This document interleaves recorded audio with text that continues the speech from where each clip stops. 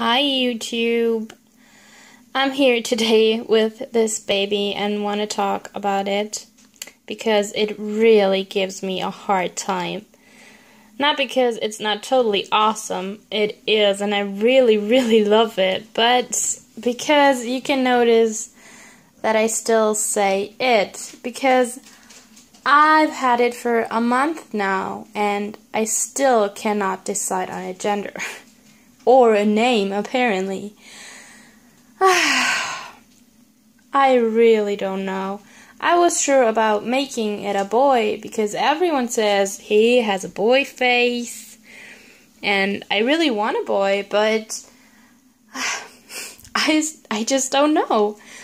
And now I put him or her in this um, purple sleeper because I don't have any boy clothes and everything else I have is really pink.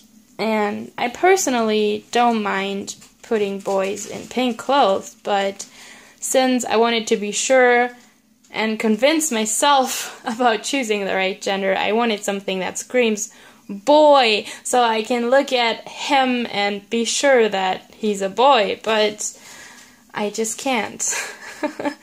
I went to, I think, six or seven um, clothing stores and looked for boy stuff, and I didn't find anything.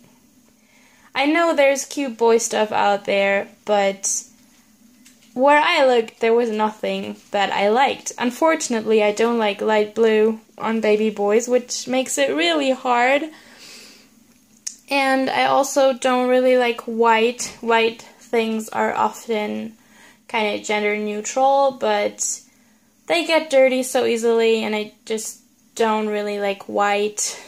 Um, and I also don't like stuff with cars or um, motorbikes or trucks or planes on them because uh, honestly, little boys are not interested in those things any more than little girls are, and I just don't like it. so I still don't have any boy stuff for him or her. So, um, I don't want to keep him or her in this sleeper because I don't really like it. I think it doesn't look good on this baby. So, I'm gonna change it into cute girl clothes because that's all I have, and just look um, what happens and how I feel about it. So that's what I'm going to do today. Because even if I will probably end up making him a boy, um, until I find cute stuff for him, I want him to look cute and pretty, and I just don't like this sleeper, and that's why I will get some pretty girl stuff now. Okay, I'm to set up the camera so you can watch me.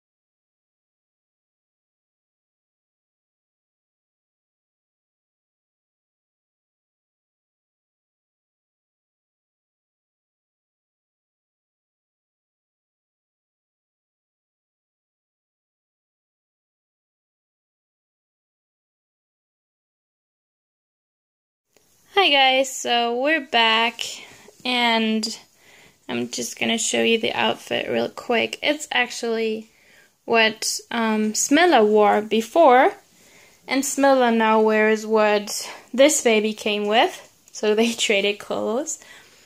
I think it's really cute. I think this sculpt makes a good girl, um, a good boy too, but also a sweet little girl. I really like this.